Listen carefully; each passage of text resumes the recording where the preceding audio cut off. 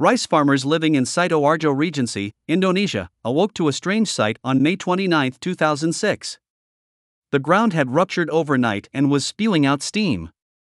In the following weeks, water, boiling hot mud, and natural gas were added to the mixture. When the eruption intensified, mud started to spread over the fields.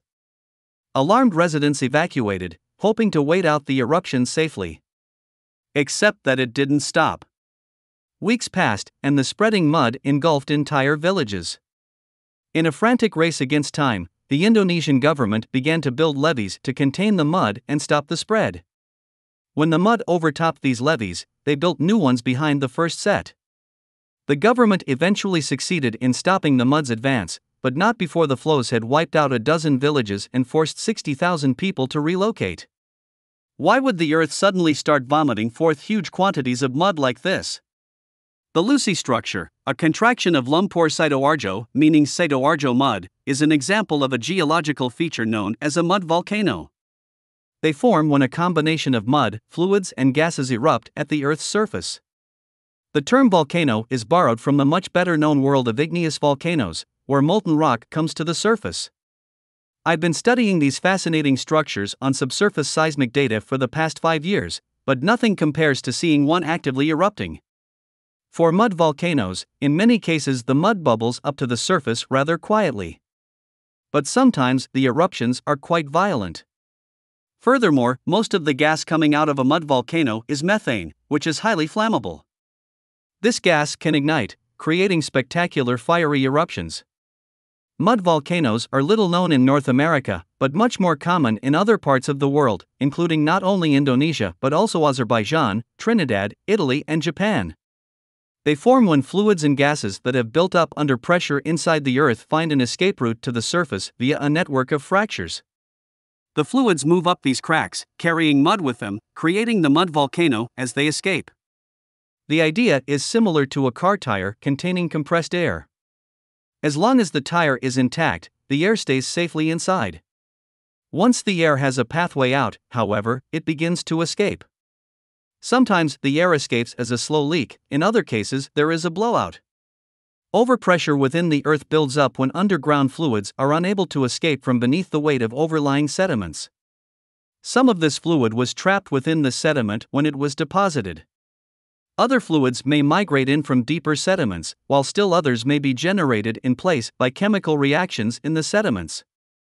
One important type of chemical reaction generates oil and natural gas. Finally, fluids may become overpressured if they are squeezed by tectonic forces during mountain building. Overpressures are commonly encountered during drilling for oil and gas and are typically planned for. A primary way of dealing with overpressures is to fill the wellbore with dense drilling mud, which has sufficient weight to contain the overpressures. If the well is drilled with insufficient mud weight, any overpressured fluids can rush up the wellbore to explode out at the surface, leading to a spectacular blowout.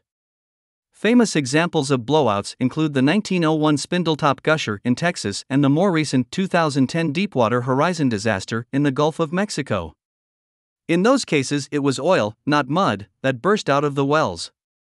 In addition to being fascinating in their own right, mud volcanoes are also useful to scientists as windows into conditions deep inside the Earth.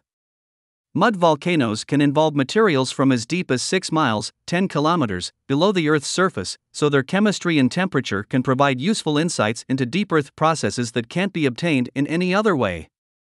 For example, analysis of the mud erupting from Lusi has revealed that the water was heated by an underground magma chamber associated with the nearby Arjuno Welirang volcanic complex. Every mud volcano reveals details about what's happening underground, allowing scientists to build a more comprehensive 3D view of what's going on inside the planet.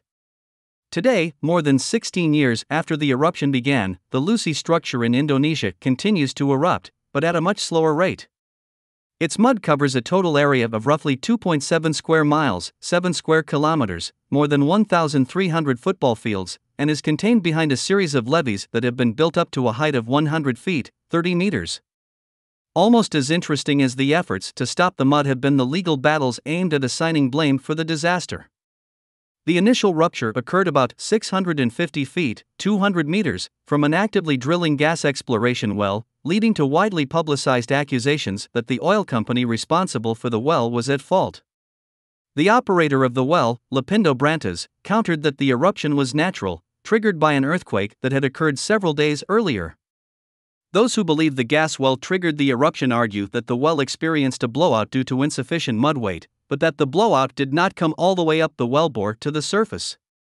Instead, the fluids came only partway up the wellbore before injecting sideways into fractures and erupting at the surface several hundred meters away.